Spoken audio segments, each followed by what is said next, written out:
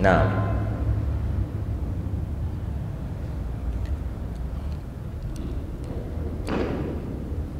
Ndo akasema neno hayo mbele. Qalu inna tatayarna bikum, wakasema sisi tunakorofishika kwenu nyinyi, la in lam tantahu, msipokoma, lanarjumannakum, tutakupigeni mawe, wala yamassannakum minna, na itakupateni nyie kutokana na sisi adhabun alim, adhabu kali sana, yani adhabu yenye kutia uchungu, na walichokusudia hapa ni kifo. Sawa, msipoacha tutawaueni. Sawa eh? hiyo wala yamassannakum, wanasema bayanu lirajmi, yani wala yakunu rajmu rajman qalila bihajarin au hajarain bal nudimu dhalika alaikum ila almaut wa huwa adhabun alim, kwamba itokuwa kipigo kidogo, kwamba iti vijiwe vidogodogo, ni mijiwe. Tutaidumisha mpaka tuhakikisheni mmekufa. Waliuliwa watu wengi sana katika kazi hii eh? qalu na tairukum maakum. Tairukum? Eh,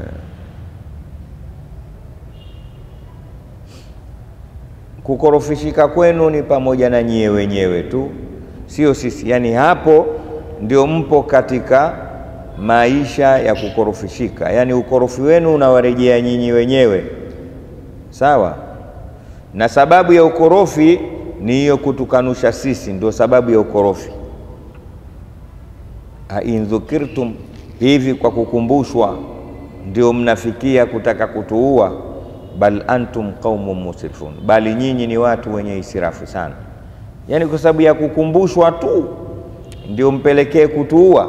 Bal antum qaumun, bali nyinyi ni watu wenye israfu sana, sawa hmm.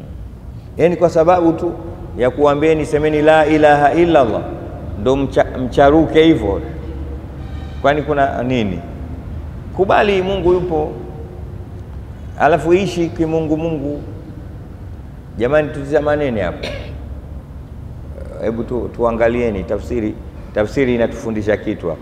ain dhukirtum ain hivi, kwa kukumbushwa tu ndo mnachukia watu na kukorofishika kuambiwa la ilaha illa kuna ubaya gani? Kosa liko wapi eh? Dunia hii mwenyewe Mwenyezi Mungu Subhanahu wa Ta'ala. Ndio alioiumba na akatuumba na sisi mwisho kabisa, na baada ya kutuumba sisi akatusaidia.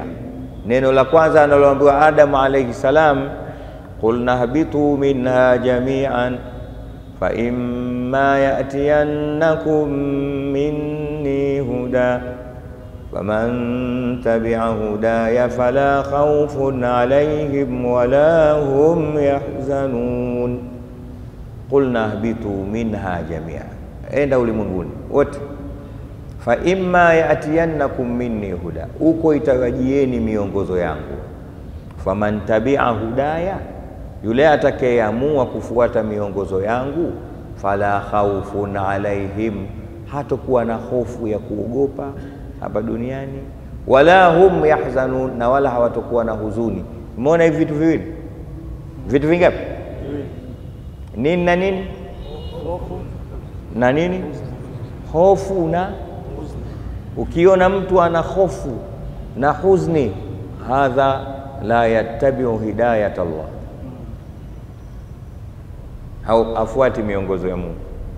Mwenye kufuata miongozo ya Mungu hagubikwi na maisha ya, ya vitu hivi viwili, oga uoga hivi na huzuni huzuni wakati wote. Akiambiwa polisi huyo, ukimwona mtu akisikia polisi anaruka, ujue huyu aishi vizuri katika jamii. Kwa nini anaogopa polisi? Polisi ni service, ni huduma yake yeye. Kwa nini anamwogopa polisi? Sijui mnanielewa? Ah, mjanielewa vizuri. Ukimwona mtu ukimtaja eh, bwana wenyewe mnawabadilisha majina wazee hao, wazee hao, wazee hao. Ukimwona mtu ametajwa wazee anastuka stuka, analo tatizo, na ukilitizama lile tatizo, ameacha miongozo ya Mungu, mwizi mwizi hivi, dhalim dhalim, tapeli tapeli. Qulna habitu minha jamian fa imma yatiyannakum minni huda faman tabia hudaya fala khaufun alaihim wala hum yahzanun. Vitu vingapi? Nini na nini? Hofu na huzuni. Kuna mtu anatawaliwa na hofu duniani kote, maisha yake yote ni kuogopa ogopa tu. Akikaa ukimpitia nyuma ukipit, yani ukitokea mbele, ujue huyo ana matatizo katika kuishi na regula za Mungu mpaka anakufa huku anapokwenda pia anakuogopa. Hapa ulimwenguni ana na uko kaburini pia, huyu ana matatizo huyu. Mungu anasema vizuri sana, fa imma yatiyannakum minni huda faman tabia, piga mstari hapo, itawajia miongozo yangu, atakayeifuata miongozo yangu, huyo atakayeifuata, fala khaufun alaihim, hatakuwa na hofu, wala hum yahzanun, wala hawatohuzunika umri wake wote. Ukitaka usiogope, usiwe na huzni huzni ishi kwa mujibu ya kanuni za Allah subhanahu wa ta'ala. Watu watakushangaa, huogopi chochote, bali utaogopwa wewe. Mtume Muhammad sallallahu alaihi wasallam aliwahi kuyajibu hayo mwanzo mwanzo, akimfundisha kitu Saidina Umar.